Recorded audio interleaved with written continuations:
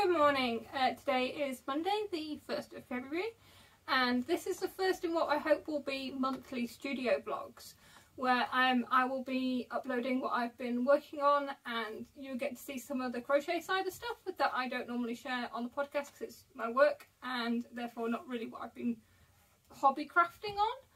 Uh, but yeah, during this sort of studio vlog you'll be able to sort of see what I get up to. So for one week of a month I'm going to be taking little bits of footage to show you what I've been working on. Um, I started filming on Friday. and I've been this weekend mainly working on two old sweaters. Old, they're not that old, they're only a couple of years old.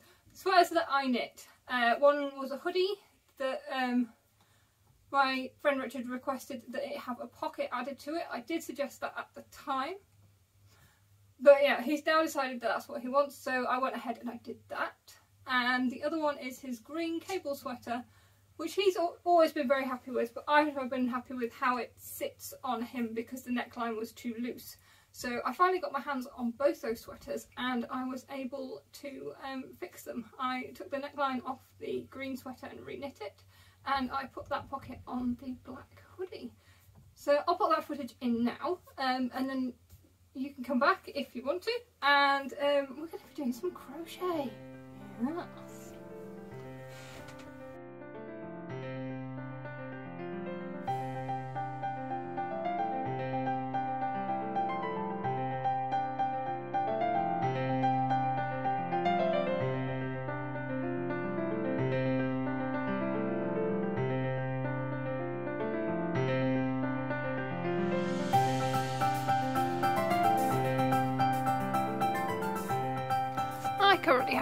Sweaters back. They, I have washed and reblocked them because they were getting a bit big. Um, and I'm going to do some modifications to them. The hoodie has been requested that it has like a kangaroo pocket added. So I'm currently knitting on that. And I want to take the neckline off the cabled sweater and um, reknit it because it's just opened up a bit too much. So I'm going to do a little bit of decreasing, use a smaller needle, and yeah, just reknit that neckline. Fortunately, it's been worn quite a bit, so I think I might have trouble getting the neckline off.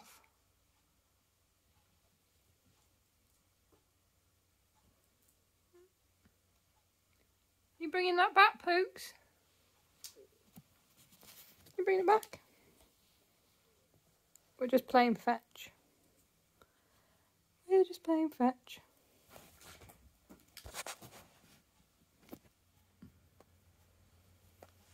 So I'm just starting to unravel this jumper. Um, and it is really matted together here at the front of the neck, probably because Richard has a beard. Um, so yeah, this is going to be fun trying to get this neckline off.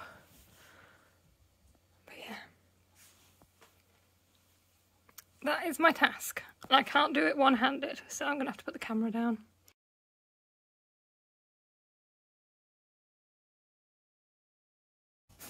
Well, actually, after a bit of a fiddly start, that was relatively painless.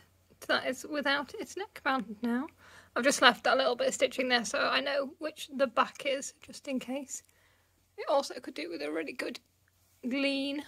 I'll get the razor on it. Pooka's here yeah, I managed to get some of it coming in a ball, and that was the start. So yeah, yarn bath.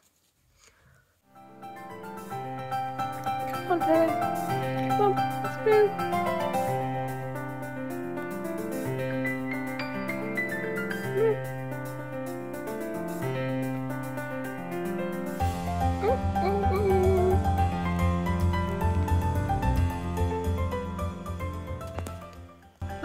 It's officially Christmas again in January. Look at this. Um, yeah, a swap package has just arrived. Uh, from Rosie, who, excuse me, uh, Rosie, who is a viewer of the podcast, she sent me a message saying that um, she'd never tried self-striping yarn before, and I was like, well, I cannot have that. So I had um, just dyed them up and I sent her some and she wanted to do it as a swap so I asked for fingering weight scraps for my mitred square blanket and she has sent me these beautifully wrapped packages, but I think the loveliest thing is that she's written on uh, what she'd used everything for, which just makes everything like 10 times more special. Um, oh wow, thank you so much, Rosie. Um, wow, it's just like I don't even know what to open first. Um, ooh, yeah, anyway. I can't really open things and film at the same time, I just wanted to see all the lovely little bits out of the packaging now. There's all these little bits tucked in with it as well. Oh, it's just, oh, can't get over how many. And where is Pooka? There is Pooka.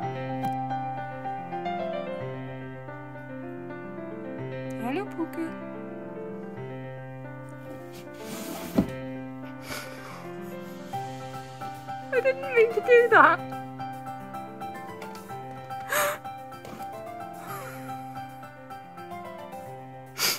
I didn't mean to do that. I'm sorry, Pooka. I have a helper again. Yes, uh, I'm now working on this sweater, and there is board under here, and this anything I do on the floor is going to have cats involved. So I've knitted the piece which is going to be the pocket. Um, all I did was I measured in from the side and then I measured in from the other side and I counted as many stitches. I cast on that many and then I knit up a bit and um, then I started decreasing. So hopefully the pocket should be like up a bit and then the open bit and then across. So I'm just going to pin it in place and then I'll show you.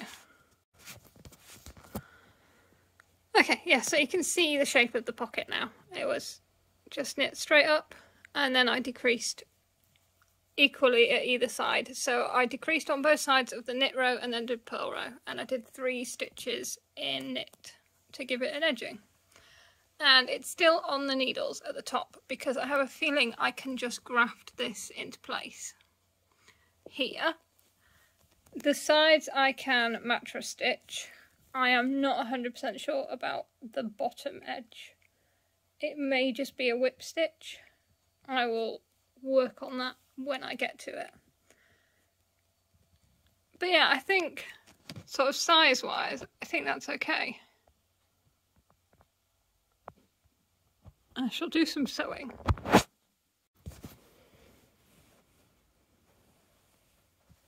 It's blowing out the um, the yarn a lot. This is a really dark grey, but it's blowing out. You can see how, if I put my hand in front of it, it looks a bit better. So yeah, I'm just mattress stitching up the side so it sort of hides the seam altogether then.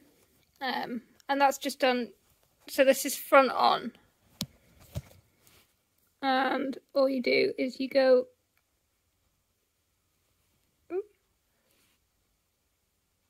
I don't think I'm going to be able to do that without cutting the camera shot. Yeah, you take a stitch from this side and then you take a stitch from this side and it draws them together. So I'm going to do that both sides and then I'm going to do the bottom. I'm going to try and do something similar with the bottom. I don't know if it'll work, but I'm going to try. Uh, yeah, and then I'll show you. I'll show you when it's finished. Um, I might show you when I get to grafting. Yeah. So I'm really pleased with how that's joined down there. And now I'm just joining the, sorry, that's the, the end of the yarn. I'm just joining the bottom in the same way. I have a slight problem at the moment because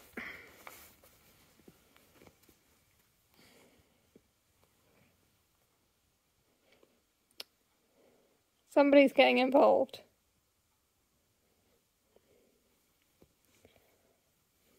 So she's ferreting under the jumper and every time I do a stitch she's attacking my hand. Uh, not fun, so I need to deal with that. Still being hounded. Right, so all I've done to attach this top flap, which is still on the needle, to, is to pick up stitches along the centre front. It's approximately the same amount of stitches that I have on here. Um, I haven't counted because I'm going to start here and then as long as I've got enough, it'll be fine. If I've got too many, I can just drop them off the needle. And then now what I'm going to do with these is I'm going to Kitchener together like you would do the toe of a sock. And I'm going to use the needle that's attached to the sweater as my front needle. So that'll be the knit needle. And then I'm going to use this as my back needle. So these will be the purl stitches on the Kitchener. And that should work quite nicely. Fingers crossed. The bottom hem has worked out okay. It's a little bit joggy in places but the next time it's washed I think that'll come out a bit better and I think it's fine. I think it was always going to look a little bit hodgepodge along the bottom. I should have picked up stitches and knit it up but um, I didn't want to wrestle with a sweater and I don't think Richard minds. Okay so this is done. Um, I might have pulled that graft a little bit too tight but I reckon it'll loosen up with a wash and it's just sitting a bit weird because uh, this has been blocked and this hasn't. So the next time it has a wash, it will look even better and it will also go a lot softer. The difference between that yarn when it's been blocked and when it hasn't, incredible.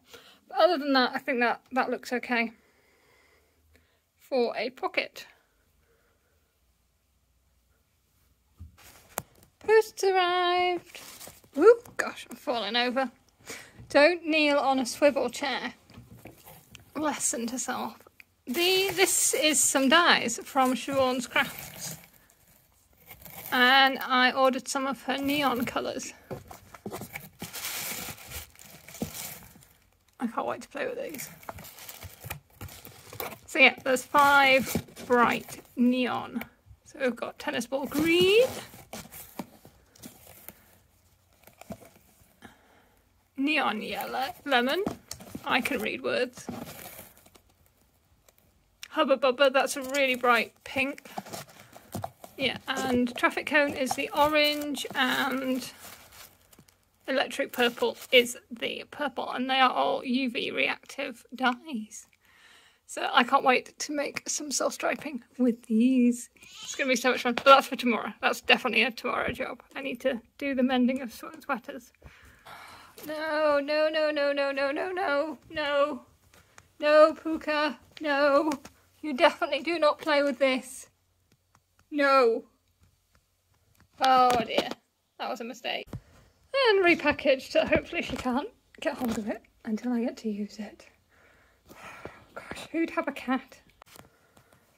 So this morning's mending task is um, reknitting the neckband on this sweater. This is the August sweater, I think, by Michele Wang.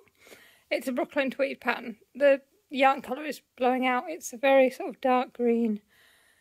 And yeah, the neckline is just very open on it. it. Once it blocked, it just opened up ridiculously. So I'm going to repick this up and reknit it in new yarn. I had some left over. This is the yarn, by the way.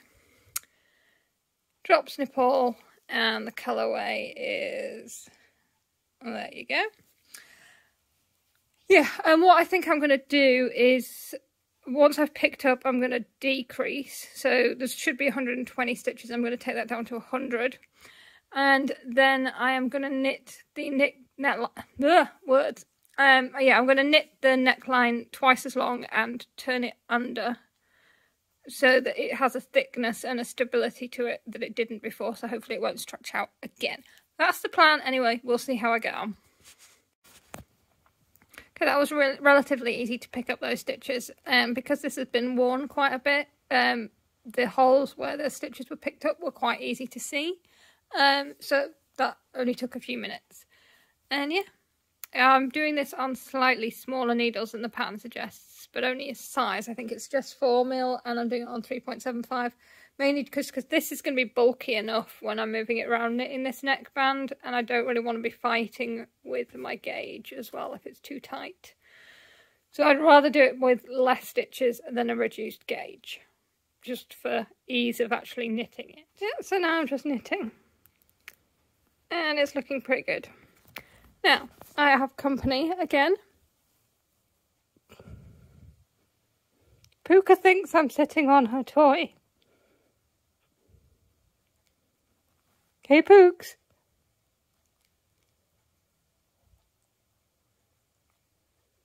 No, you weren't digging behind me, were you? A toy is that blue thing that's on the floor over there. But apparently she thinks I'm sitting on it.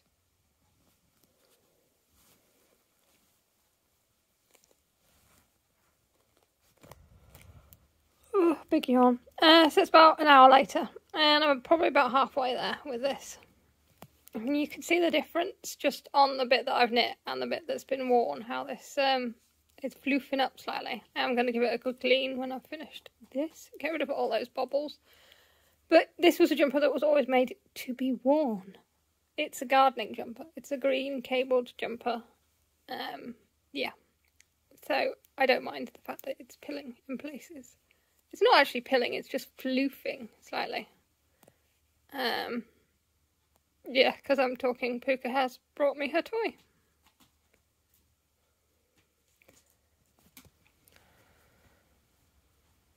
I am debating whether just to bind this off and leave this longer neckband as the neckband rather than turning it over. It was so open before that even with a longer neckband it's not going to look like a mock turtleneck or anything like that. It's not going to be like a polo neck type thing. I think it's just going to pull it in, but I don't know. I have taken this off um, the needles and put it on some some yarn just to see how this neckline is looking. What I'm going to do is I'm going to put in a um, picture of how it looked before and this is the same hanger so you can see how low it hung on that hanger. Um, I was knitting this long to fold it over, but actually I'm thinking I should probably just leave it like that. I think that looks better. If I hang if I fold it over, it's going to bring it down to the same sort of level it was before. So yeah, I think I'm just going to put it back on the needles and bind off at that. I think that looks better. Yeah, so this is how I um, bind off. Um, you are going to go into the stitch as if to knit and take that stitch off. Then you're going to go into the next two stitches as if to purl and pull that yarn through.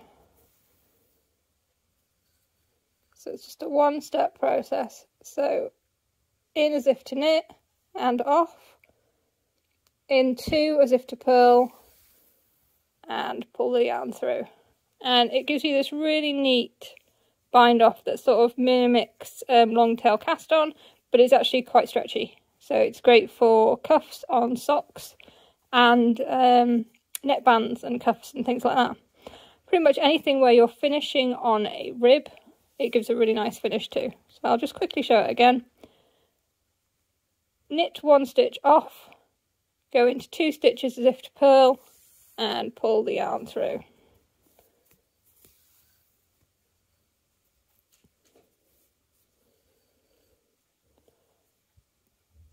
Knit one stitch off, into two.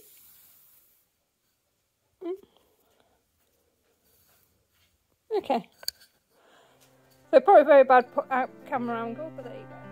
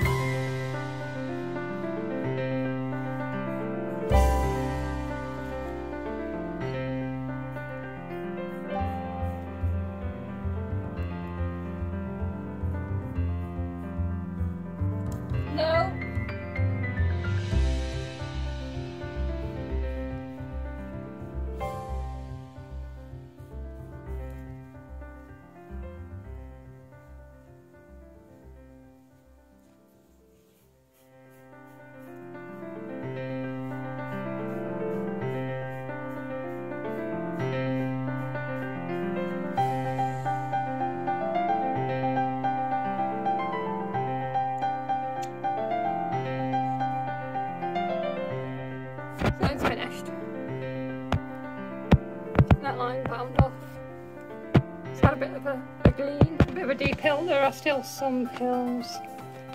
Usually what I'll do with a band like this at the end is just run scissors along it. Get rid of any extra ones, but to be honest, this is going to be worn mainly outside. It's definitely a gardening sweater. But yeah, I'm pleased with that. It looks a lot better. Now, I'm going to go play some Zelda. So yeah, there was the sweaters that I was working on. There's probably some kitten shenanigans scattered in that footage as well. Um, yeah, I was really pleased with how they turned out. Um, I was completely winging it when it came to that pocket, but yeah, I was really pleased. Um, and sort of went a few ways with how I was going to do that neckline, but it worked out in the end. Now, because it's Monday and I'm working, uh, so I'm going to be crocheting. I can't really show you what project I'm working on at the moment. It is a magazine that might not come to fruition, but we're putting a proposal together. But, um, so yeah, I can't really show you what I'm working on, but that doesn't mean I can't show you some crochet. So, I'll do a bit of a close-up on what I'm working on in a moment.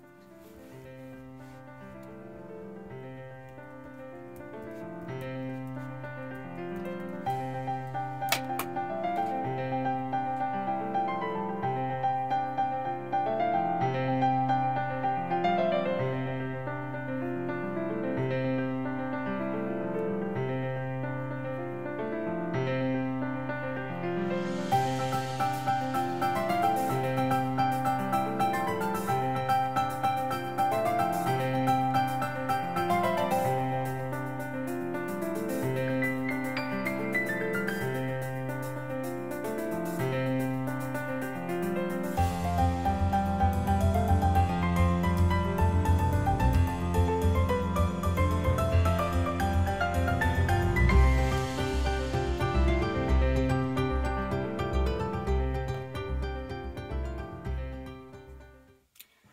amigurumi starts off like this with a most patterns say to start with a magic loop. I don't do that. I change to chain two and then do my first set of stitches in that second chain from the hook. Works exactly the same as a magic loop.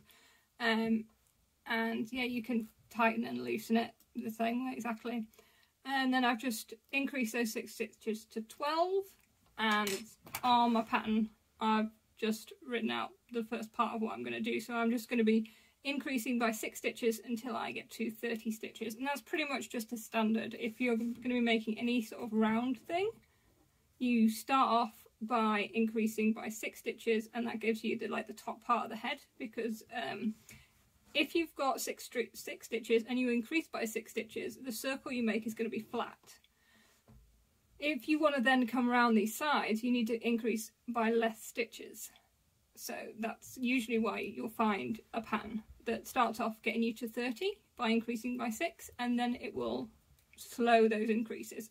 Some patterns will not do that um, and those patterns usually rely a lot on you getting shape through stuffing and yeah not my favourite patterns but yes because crochet stitch is quite a lot is more of a structured stitch than a knit stitch it includes more um, yarn in it. So I think there's a lot that we can do in the pattern that um, means you're not having to fuff about with it so much when it comes to stuffing. It should just be that you stuff it to its fullness and it looks how the designer wants it to look. Um, we could get onto the fact that people understuff. everybody understuffs.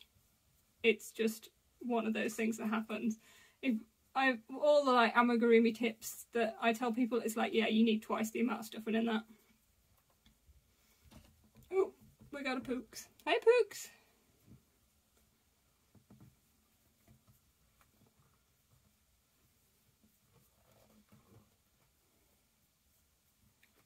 You want a sofa?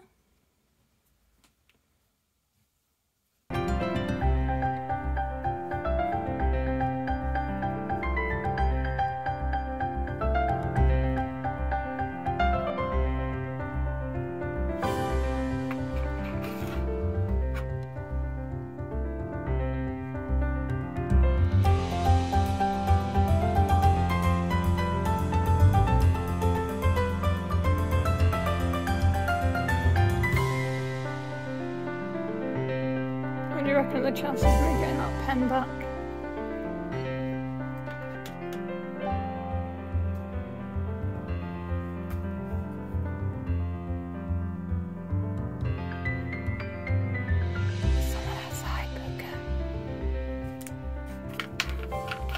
It's a beautiful day outside. It's cold and blue.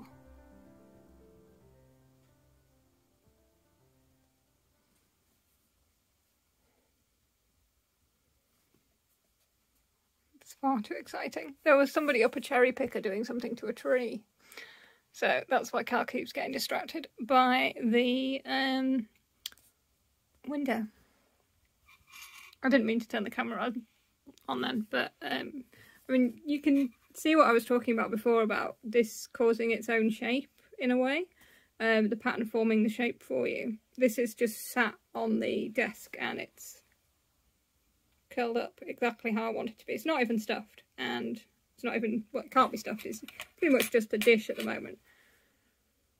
But my thing with my patterns is that in a way they shouldn't, even if they're not stuffed, the, the shape is there. I don't know how much sense I'm making with that. But I'm about to change colour anyway, so I'm not going to do anything fancy when changing colour. It won't be seen. This is the top of a head. It'll be covered in hair. Um, yeah. So I'm just going to literally join in the next colour. I'm not going to do anything fancy. I will do a crochet hints and tips video at some point to show you how to do an invisible join for changing colour, but not today. Got another visitor.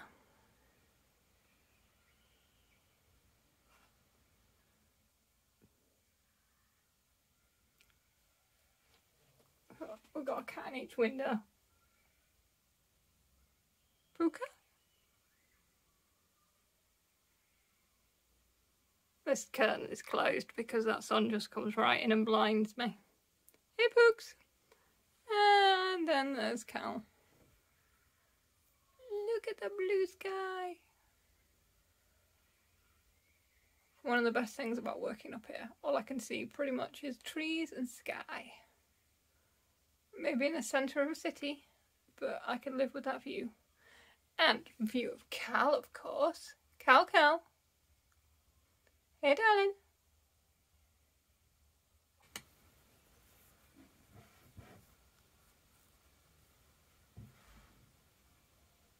Yeah, that is about as far as I can go before lunch. I'm just going to put the eyes in and uh, yeah. So that's not going to come unravelled. That can go down. That needs to go back in that box there. Otherwise Pooka will steal it. And I'm just going to put these eyes in.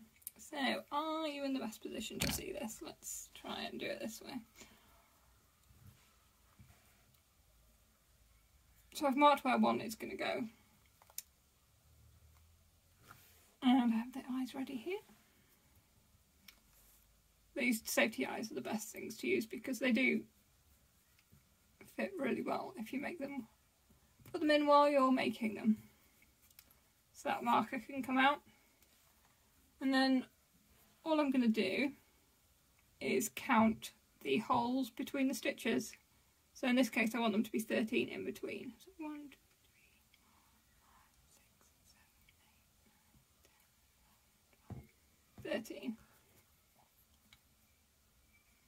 The pattern should say where you want them to be, how far apart, whatnot. And that's, I think, a, quite an important thing in the design of amigurumi is the placement of the eyes.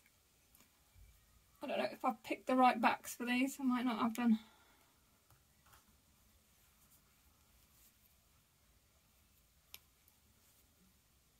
Nope, I haven't got the right backs.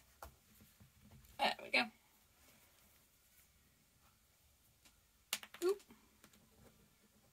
That is that is really difficult to show. That's what a little bat looks like. It's a little washer. It's not gonna focus on me.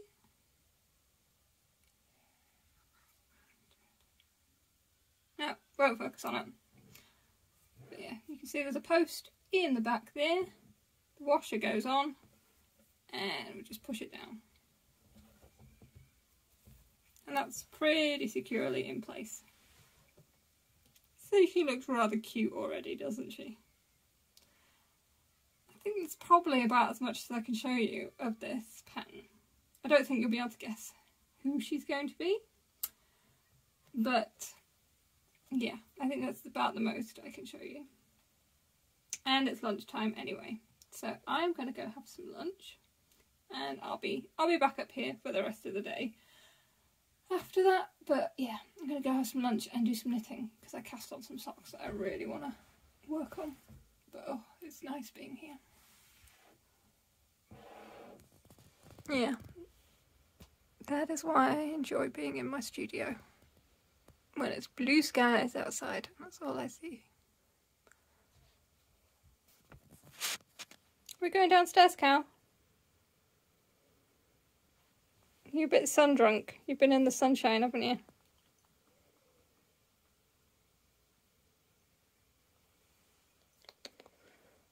No, I don't know where Pooks is.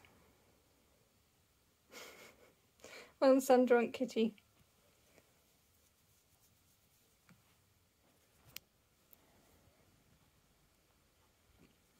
Yeah, so I managed to do a little bit on my February Rainbow Chronicle socks for during my lunch break.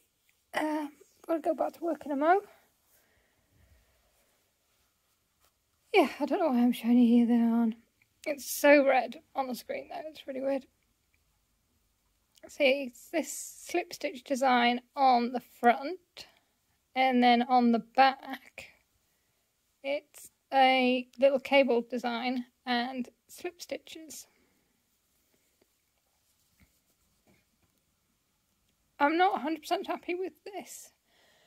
It is it's one pass cables, and so I was doing them the way without a cable needle here, and I don't think it looks very nice. So I moved to doing them with a cable needle, and they do look better. But it's kind of an odd cable pattern because it, it feels like it's trying to get the look of just a twisted stitch, which is pretty much what it's doing. There was somebody at the door. Cal, who's at the door? Yeah.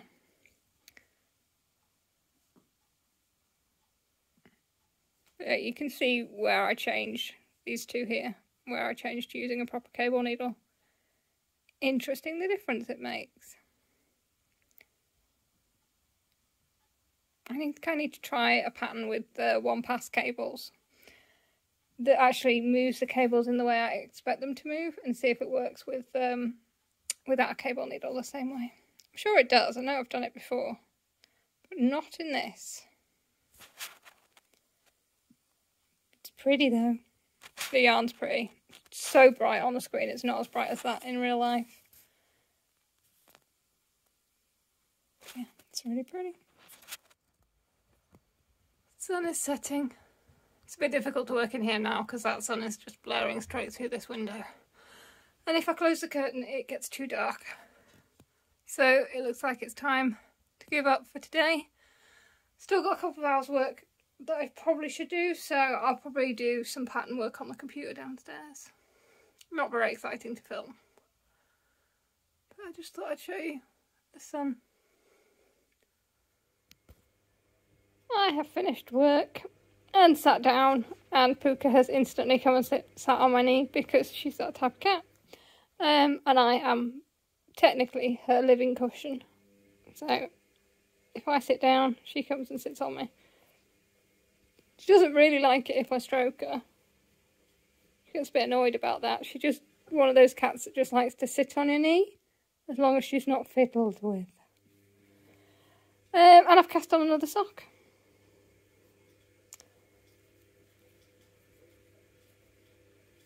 I haven't got very far with it. I haven't been sat down very long.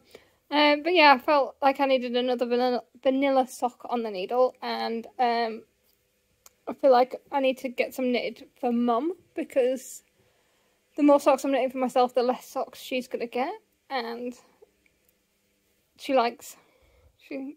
I think she only wears hand knit socks, so she moans when she starts to run low. She's got, she has sort of worn through a few pairs that I've knit but I don't mind as long as they're getting worn. Um, but yeah, this is a ball of opal yarn. Um, do I have the details for it? I do. Here we go. So, whoop. That apparently is what it's going to look like. And those are the numbers. And I actually bought this for the harvest cardigan that I'm making for mum. But I thought it'd be quite fun when I give her her cardigan to give her some socks with the leftover yarn as well. And I've already started one. I've done one, but not... I've done one. So I've done this one and um, I've cast on the second sock for this one, but I thought I'd cast on another one as well because I know what this one knits up like now, and this one is a mystery apart from what you see on the ball band. But yeah, toe up, short row heel. That didn't work out so well this time on that corner. And sewn bind off, which is really stretchy. Stretchy, stretchy, stretchy.